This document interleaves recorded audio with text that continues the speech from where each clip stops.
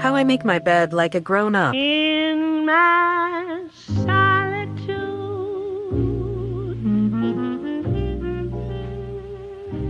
you haunt me.